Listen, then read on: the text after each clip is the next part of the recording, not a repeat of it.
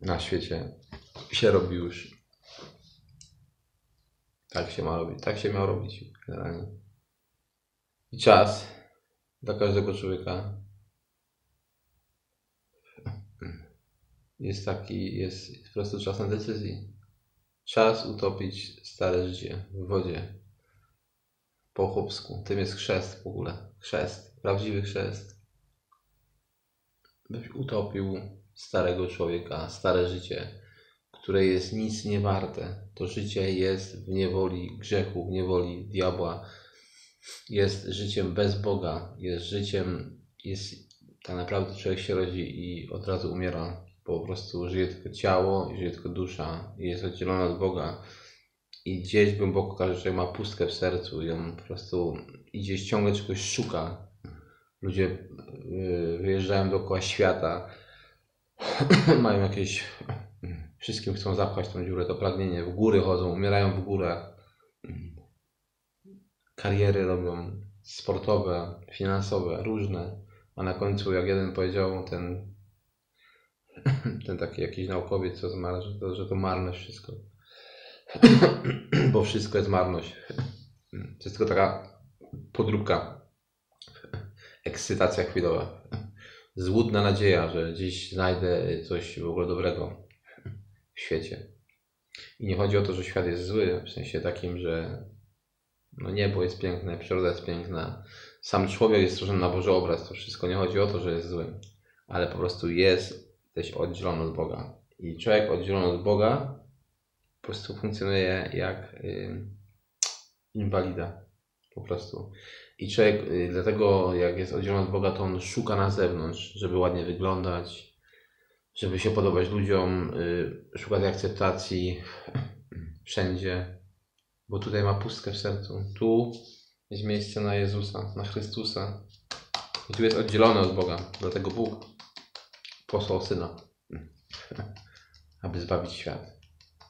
Tak, aby zbawić świat. I Jezus, prawdziwy Jezus, jedyny, Król, jedyny, On umarł za grzechy całego świata. I nie chodzi o to, że Jezus umarł za grzechy świata i za choroby świata i w ogóle, bo to jest tylko część Ewangelii. Ale Jezus na krzyżu powiedział, wykonało się, finish i finish dla każdego człowieka, dla którego, który uwierzy. Który uwierzy, że Bóg zesłał Syna. Przyjdział i stał się z postawy z człowiekiem, tak? Był człowiekiem na ziemi, był też Bogiem, tak? Żył świętym życiem doskonałym i poszedł na krzyż. I nastąpiła wymiana. I teraz wierząc w Ty, Jezusa, wierząc prawdziwie sercem i zawołaniem do Niego, żeby zabrał Ci to grzeszne życie, tak? Że wierzysz, że On przyszedł po to, żeby Cię zbawić, żeby Cię pojednać z Bogiem, żebyś był tą osobą, którą Bóg przed założeniem świata wymyślił, stworzył, zamyśle miał. W sercu Bożym już byłeś zamyśle przed założeniem świata. Wystarczy uwierzyć i później chrzest, utopienie starego człowieka na dobitkę po prostu. Bo ten stary człowiek jest nic Y, to życie po prostu jest w pułapce diabła. I człowiek taki jak nie pozna się z Jezusem tu na ziemi, jak nie zawoła do Niego, to umrze i trafi na wieczność, oddzielony będzie od Boga. Jezus to jest jedyny ratunek dla, dla Ciebie, dla każdego człowieka. I teraz w ogóle są takie czasy, że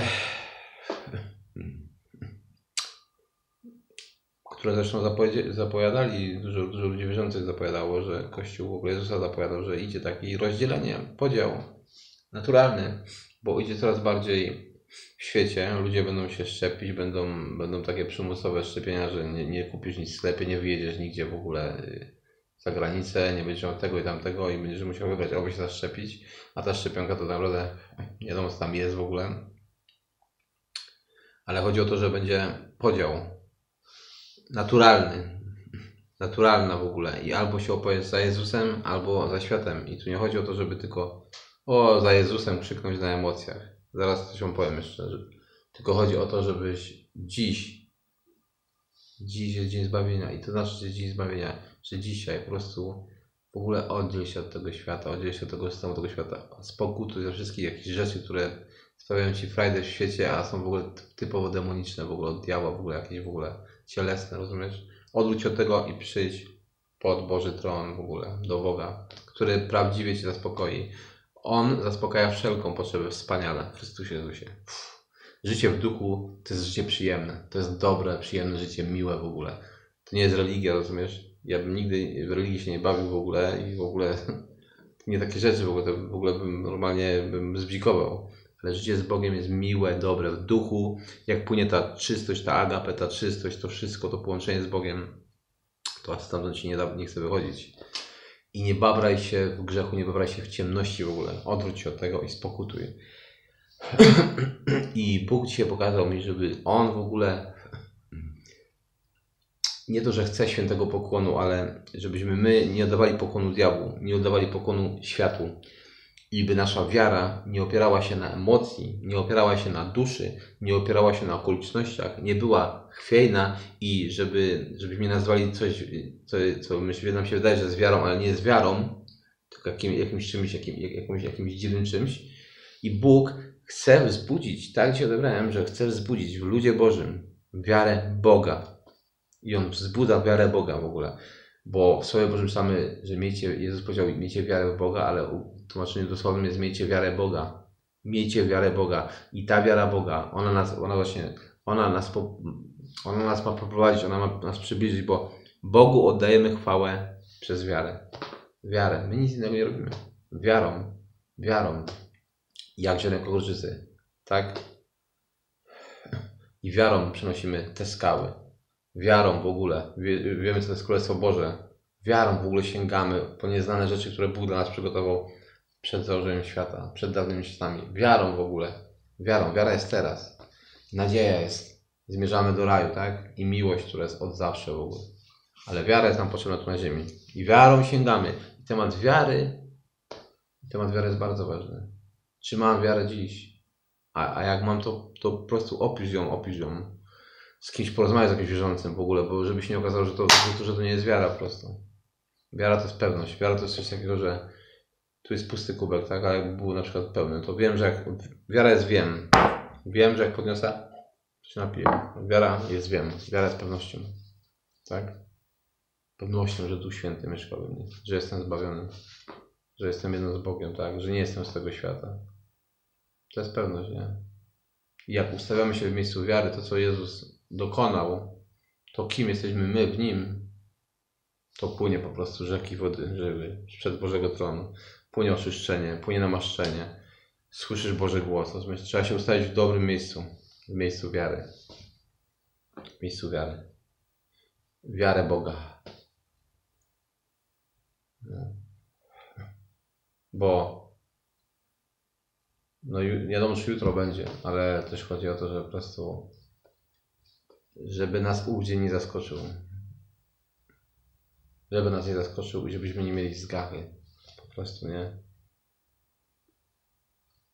Wchodzić głęboko w Ducha Świętego, w głębokości Boże. Po prostu i polegać na Bogu i nie dać się sterować lu ludziom. Ludzi po prostu mądrze, mądrze chodzić. Pytać się Ducha Świętego z kim, jak, gdzie, co. Bóg mi pokazał w śnie, nie daj sobie Bartek, żeby ludzie sterowali twoim życiem. Na przykładzie auta mi pokazał. Inny człowiek, brat mi chciał posterować autem, a ono było na jedynce i on po prostu nie miał nim jechać. Chciał pokierować moim, moim życiem, moją służbą. To od Boga. Odbiera indywidualnie, osobiście to, co jest od Boga. To jest święte, to jest czyste, to jest wieczne. To jest, to jest coś, czego nie umiem opisać słowem, gdzie wasza, twoje życie i Boga życie Wy jesteście i tam w tej komorze odbywa się w ogóle coś, yy,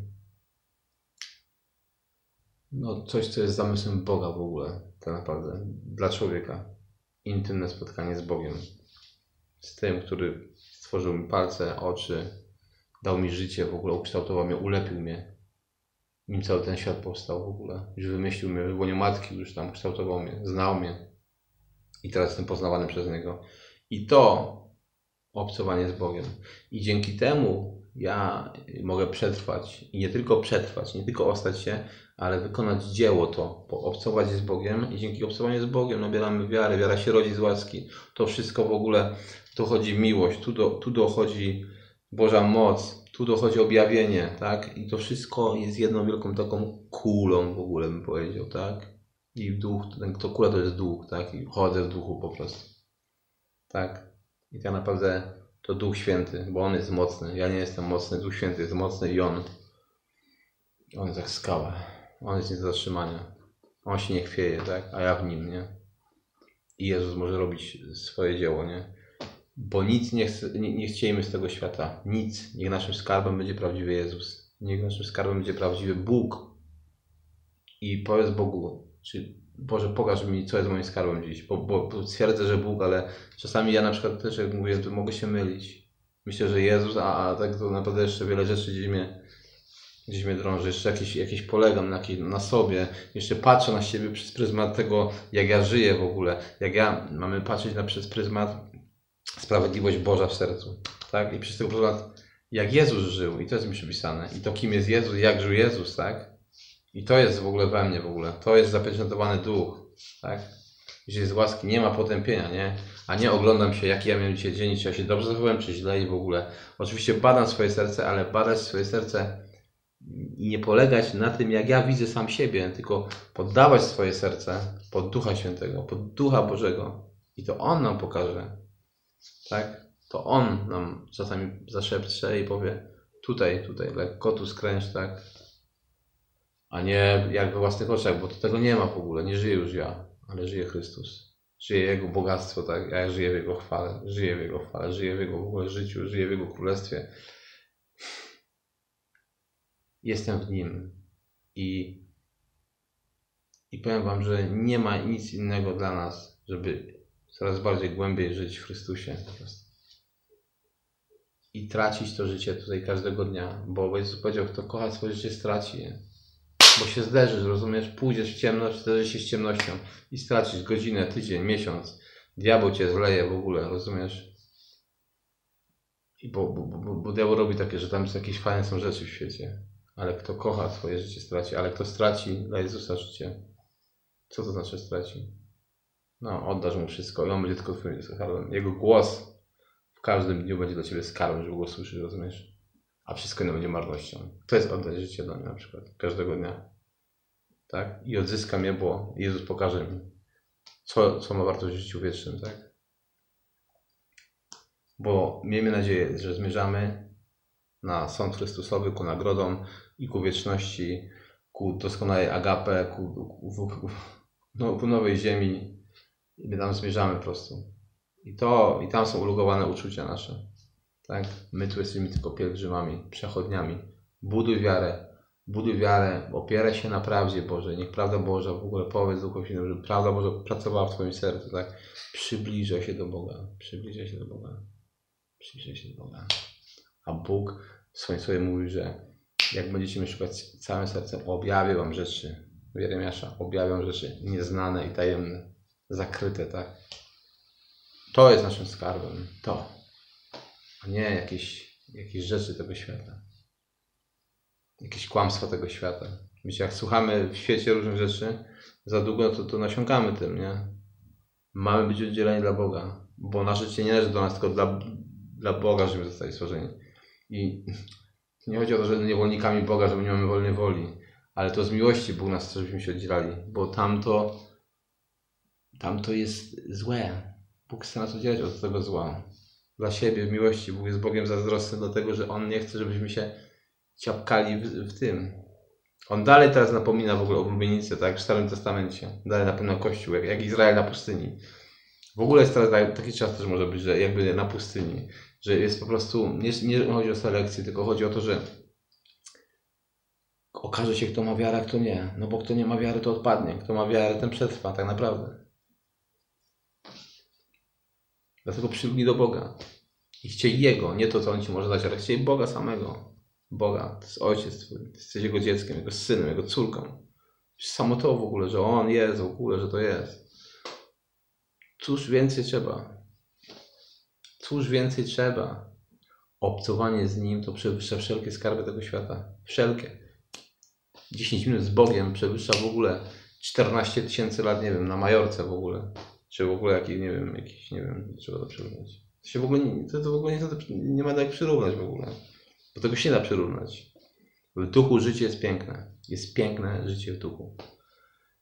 I pustynia pyta się Ducha Świętego, jak możesz się oddzielić dla Boga. Być może masz nie jeść, a być może niekoniecznie nie jeść, ale masz na przykład mniej telewizji oglądać, mniej się z tymi ludźmi spotykać, może w ciszy pobyć, może wyjechać w góry na tydzień czasu, zamknąć się i modlić się. Oddziel się, bo to zaprocentuje. To zaprocentuje. I nawet jak nie widzisz efektu, teraz, czy po dwóch dniach, czy ten, to nie bój się. Zostało coś zasadzone. Czytaj słowo, spędzaj z Bogiem czas, módl się, uwielbiaj Boga. To wszystko jest, to, coś się jest, to zbiera, rozumiesz? Co tu jest zasiane, to spokojnie, to wyrośnie w swoim czasie. Tylko dwie rzeczy. Miej wiarę i to jest najważniejsze. Jak nie wiesz, to spytaj Boga, co to jest wiara w ogóle. Miej wiarę Boga na przykład. Zapytaj Ojca, Ojciec chce Ci odpowiedzieć. Nastaw się na słuchanie. Bądź szczęśliwy w tym, rozumiesz? Bo jesteś bezpieczny. On Cię umiłował, Cię kochał, rozumiecie? I nastaw się na słuchanie, tak? Miej wiarę i oddzielaj się do Boga, czyli poświęcaj Mu czas. I modlę się, Duch Święty Cię pokierował. Bo pamiętamy, że jak przed nawróceniem, jak wołaliśmy do Boga, ja pamiętam jak wołałem, to było, to było taki, taki skowyt do Boga i ja teraz też chcę tak, ten, mieć taki skowyt do Boga, taką rozpacz do Boga, tak, tak pragnąć Boga. Bo wiem, że mam królestwo, wiem, że mam wieczność, wiem, że ten i nie chcę się uśpić dać, tylko chcę przez tą maleńką dziurkę tak wołać do Boga, bym w jakimś lochu był uwięziony. Takie chcę mieć pragnienie w ogóle, nie chcę tego stracić. Niech głód Boży będzie w Twoim sercu. Amen.